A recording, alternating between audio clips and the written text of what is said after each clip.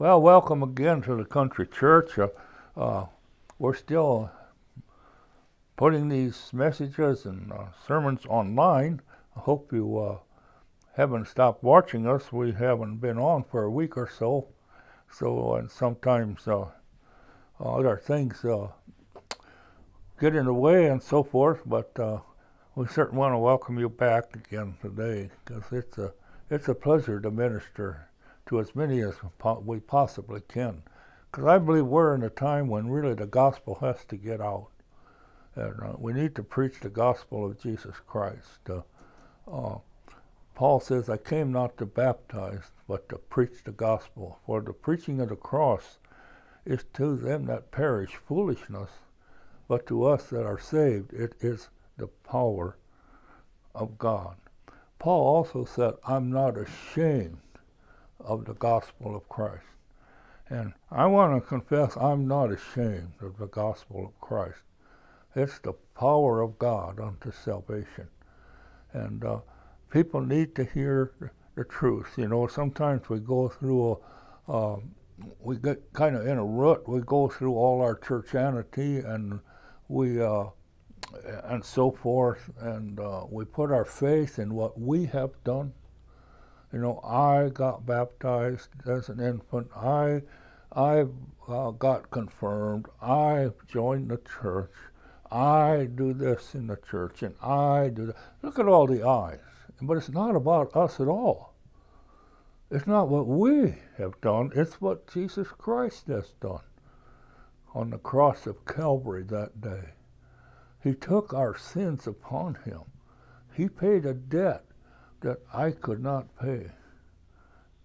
And we got to put our faith and trust and believe that Christ died for our sins and he was buried and he rose again the third day, according to the scriptures. So, but today I want to talk about something a little different. Uh, uh, probably not the most pleasant uh, message, but it's in 1 Corinthians chapter 15 and I think it's it's uh, it's a victorious message if we if we look at it. But uh, uh, I always tell my, my people if you want to be blessed, read the uh, First Corinthians chapter 15. If you're a Christian today, you can't help but rejoice in it. I'll read a few verses here, starting with verse 45. And it said, It is written, the first man, Adam, was made a living soul, and the last Adam was made a quickening spirit. Howbeit, that was not first which is spiritual, but that which is natural. After, afterwards, that which is spiritual. The first man is, is, uh, is of the earth, is earthly. The second man is the Lord from heaven. As the earthly, such are they are that are earthly, and as the heavenly, such are also those that are heavenly. And as we who are born uh, in the image of the earthly, earthly, we shall also bear the image of the heavenly. Now, this I say, brethren, that flesh and blood cannot inherit the kingdom of God, neither doth corruption inherit incorruption. Behold, I show you a mystery. And this is this mystery is, is the rapture of the church. And We'll probably get to that in 1 Thessalonians chapter 4. But this is re- uh, referring to the rapture of the church. Uh, rapture means uptaking, the uptaking of the church. It says, Behold, I show you a mystery. We shall not all die, but we shall all be changed. At the moment, in the twinkling of an eye, at the last trump, for the, the trumpet shall sound, and the dead shall be raised incorruptible, and we shall be changed. For this corruptible must put on incorruption, and this mortal must put on immortality. So when this corruptible shall put on incorruption, and this mortal shall put on immor- immortality, then that was brought to pass the saying that is written, Death is swallowed up in victory. O death, where is thy sting? O grave, where, where is where is thy victory? The sting of death is sin, but the strength of the law is, is sin. And the strength of sin is the law. But thanks be to God that we have victory through our Lord Jesus Christ. Therefore, my beloved brethren, be steadfast, unmovable, always abounding in the work of the Lord, for much as you know that your labor is not in vain in the Lord. And I really didn't know how to title uh, this message. Basically, we'll have to probably call, think of a title yet, but we could uh, uh, title it as uh, How Do We Look at Death? Uh, and so forth. How do we face death? Or we could title it of, of Increasing Our Faith. I would basically prefer the latter, of course. And, uh, but uh, I define faith as simply just trusting God. Just believing what God said He'd done, He'd done. Just believing that God sent His only begotten Son, that in Him, and we receive Him, we can have eternal life through Him. Hebrews 9:27 says, "Man is appointed once to die, and then the ju- judgment. The mortality rate is the same for all, whether they're great or small, whether uh, uh, they're high or low, you might say, or powerful or powerless. Uh, uh we all, uh, famous or infamous, we all meet that day, at appointment. I've got a sermon I'm going to preach one of these days on uh, God's three appointments. Uh, I ain't got it finished yet. So I understand, uh, you know, in a British museum in London, there's an ex, ex, exhibit, exhibition of a of a body of a man dehydrated by the hot sands of Egypt, uh, which he was buried. His body is in a crouching uh, position, uh, shaped like a question mark. Now, this basically uh, could define, uh, might might define death.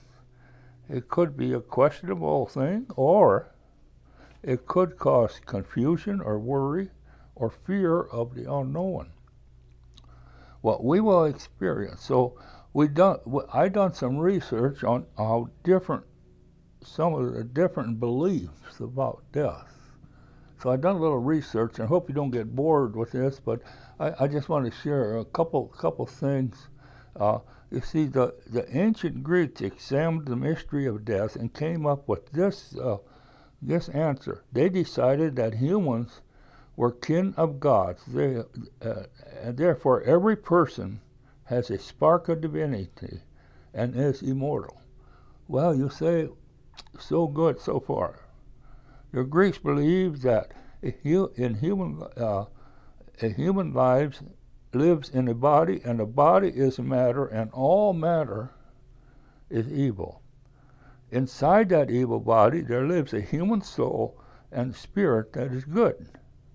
So they saw humanity as a, a, as a soul shut up in the, in the cage of a body they viewed death as a, as a liberation. When a person died, his soul was set free from his body and returned to the deity from which it came. The soul was then uh, uh, absorbed into that deity like a drop of water returning uh, basically uh, to the ocean by, by, just by evaporation. And then but the Greeks had no concept of the resurrection. They had no belief uh, uh, in a bodily resurrection. Uh, they think the body was evil. They, they had no personal survival and they had no personal identity beyond death. Now, the Hebrews understanding of death was very different from those of the Greeks. The Hebrews believed uh, uh, to uh, in a place of existence after death that they called Sheol, of the place of Hades. The earth was the place of humans and animals, and heaven was the place of God and the angels. They had no concept of humans going to heaven where God was, but they knew humans did not remain on earth.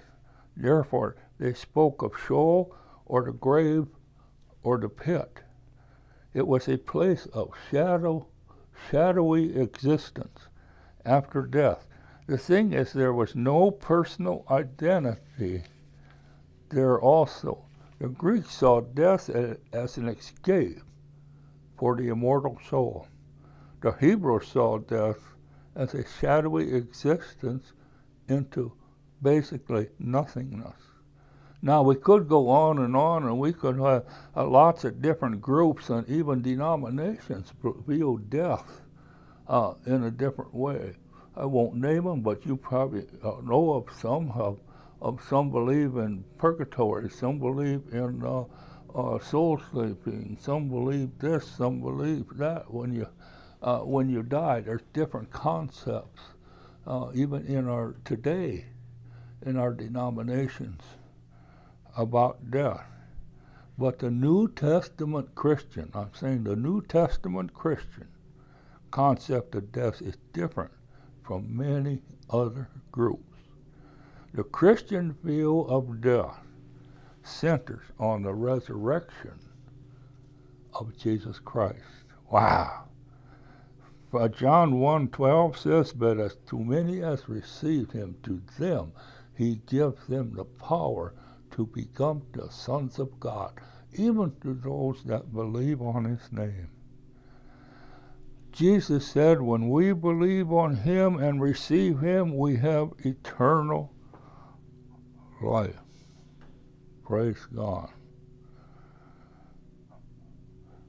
I mean, beginning now, now, now, when you receive him as your Lord and Savior, when you are born again, eternal life begins now. Not someday, not when we die, but now. Now. I, I just want to put uh, stress that. You see, for 46 years, I lived in the natural. I was born again when I was 46 years old. But I lived that natural life without, without any problem. It was not hard for me to live that life. I just followed, you might say, humanity, the natural life. It was natural for me to do the things that I done. When we become born again, when we, the Spirit of the living God comes to live and to dwell with us, I should uh, develop uh, uh, uh a relationship with God that I live my life naturally as a Christian not having to work at it so hard, but it becomes a natural instinct, you might say. It's more than instinct, but that will, we'll use that word. It's natural for me to, to be spiritual. It's natural for me to confess Jesus Christ. It's natural for me to do uh, the things of God and so forth just as natural as it was for me back here in the flesh for 46 years to live it. I didn't struggle to live that life. I don't shouldn't have to struggle to live the Christian life. Because if I if I if I try so hard, it becomes a works thing instead of God working through us. Uh, that, that's kind of a different sermon. I kind of got off track here, but but that's kind of a different sermon. But the New Testament Christian centers on the resurrection of Jesus Christ. Uh, John 1.12 says, yes, uh, Jesus said, when we believe on him and we receive him, we have eternal life, beginning now. In fact, the Bible says, if you have not the Spirit of Christ, you are none of his. You are none of his. You will have you will have a personal identity. We will know each other in eternity, in, in heaven. We will know each other.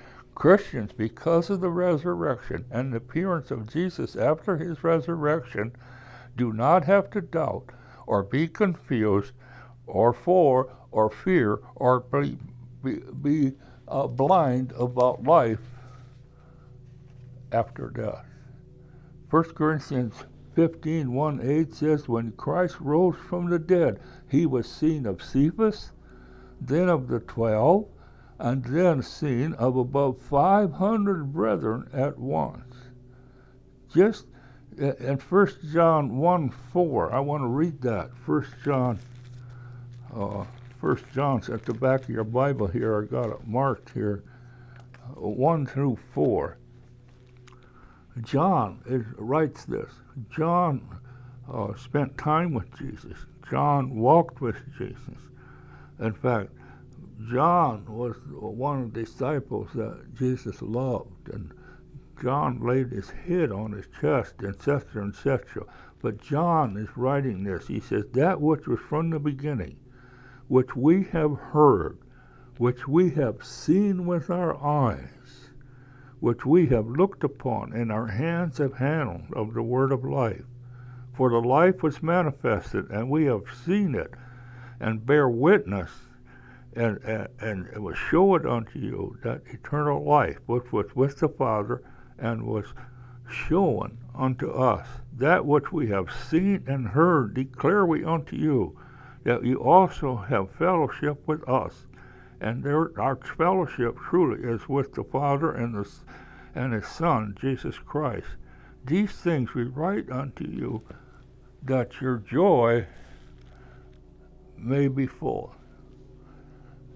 it was so real. You can you can read that and you can almost almost feel it. You might say, as if I was sitting right beside you, and you were sitting beside me.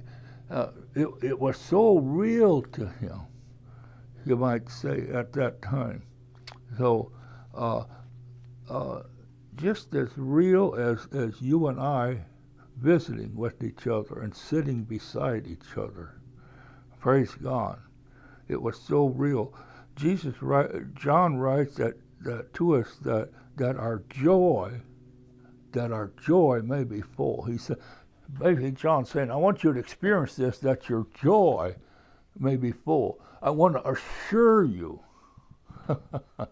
that, that your joy uh, may be full, that we know that he was victorious over death, over hell, and the grave.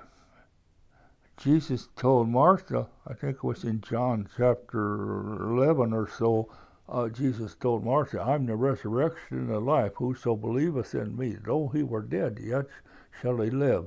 And whoso liveth and believeth in me shall never die. And then Jesus said, Do you believe this? Do you believe this? so, for 2 Corinthians 5 8, it says, absent from the body, present with the Lord. See, death is like two faces. It's like the like the Roman god Janus from where we get January. Like two faces, one looking back to old, you might say old year and new year. That's where we get the get the uh, the word January from Janus, the god Janus with the two faces, one facing this way, one facing backward, one facing forward. You might say a new year and an old year. And uh, see, Janus had uh, uh, death from see death from the human point of view looks like defeat and tragedy, but but from God's point of view, death is viewed as victory or and triumph. In Psalm 6, 116, 15, it says, Precious is the sight of the Lord,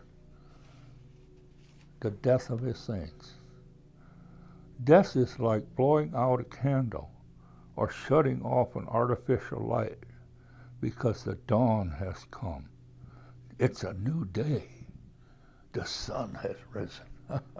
Glory to God. It's a new day. Sun has risen we step right into eternity.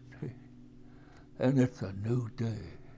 It's another experience in the presence of God. No reason to fear death. The resurrection means death has died. Death. The resurrection means death has died. Everyone who places their faith in Jesus Christ will rise and be clothed with immortality and live forever in the presence of God. 1 Thessalonians 4, and I, I mentioned this before, 1 Thessalonians uh, 4, and the Lord himself shall descend with a shout uh, from heaven, and with the voice of the archangel and the trump of God, and the dead in Christ shall rise first. And those of us which are alive and remain shall caught up in the clouds to meet the Lord in the air.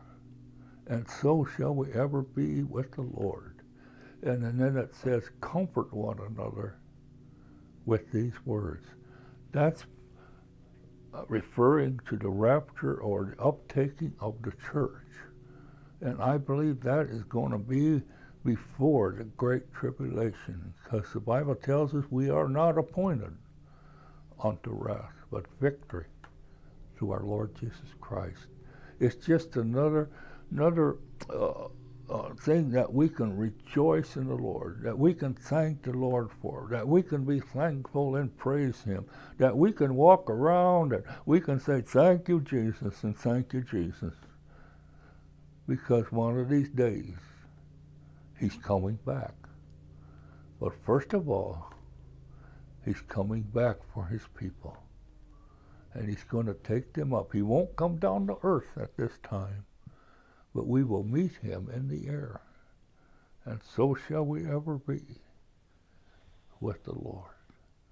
Oh, I get excited about that. I get excited, bro. You see, this hope belongs to every born again believer. You see, do you have this hope? Christ in you, the hope of glory. I said all of this that our faith may abound and increase more and more. Hebrews 12:1 says, "Let us lay aside every weight and the sin which doth so easily besets us." Now you may be thinking of some personal thing that in your life that you have to probably uh, lay aside, uh, whatever that basically, whatever that thing may be.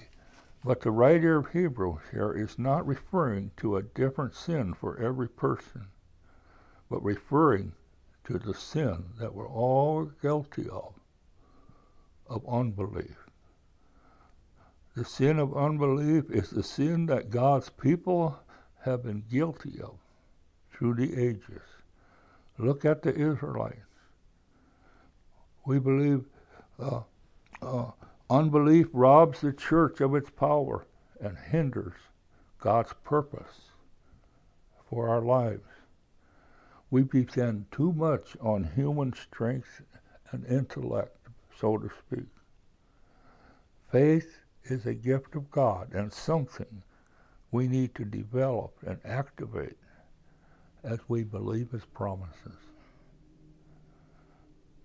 What He promised us, He says He is able to perform. I believe we're at a time where we need to trust God more and more. I know I do. I need to work at that more and more. I think we can help each other do this uh, to build up, edify each other, encourage each other, hold up uh, each other's hands, so to speak. Oh, where where was it when when uh, Aaron and uh, and Hur held up Moses' hands? I forget where. I think it's in Exodus somewhere, but but when when, Moses got weary and his hands went down, then, then the enemy would prevail.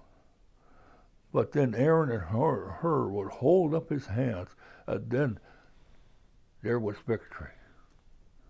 I think that's a good example that as Christians we need to hold up each other.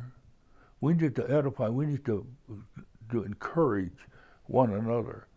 We need to build each other up. We must never forget that we have that blessed hope in our Lord Jesus Christ. Sometimes life on this old earth is, is the pit. And we come uh, we come across tragedies. We come things uh, probably tragedies in the families, or even ourselves have uh, developed some sort of physical infirmity in our bodies and so forth. And life can can be difficult, but never get your eyes off that blessed hope of what Jesus Christ has done for you. Whether we live or die, we're the Lord's. Praise God. You see, the world doesn't have that because the world does not have the Spirit of Christ.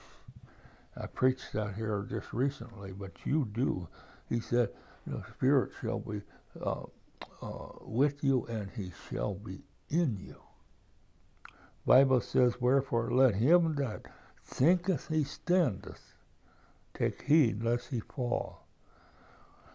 We must be reminded of the scripture Hebrews 10:25, "Forsake not the assembling together, as so much more as you see the day approaching." What day? The day of the coming of the Lord.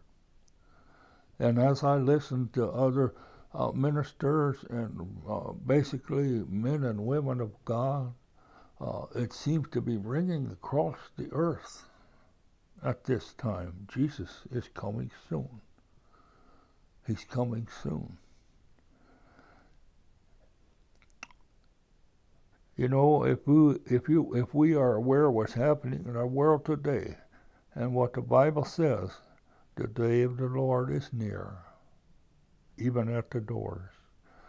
So let's keep our eyes on the uptaker and not on the undertaker.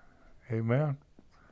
We trust God for the salvation of our souls through death of Jesus Christ on the cross. Let us also trust him in our daily life and decisions and responsibilities and help each other that our faith may remain strong. You have that blessed hope?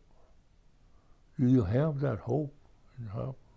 No matter what the circumstances, no matter what pops up into our lives, good or bad, you have that hope. You have that future to be in the presence of the Lord Jesus Christ because, all because he gave his life that we could have life. God bless you and have a great day. Amen.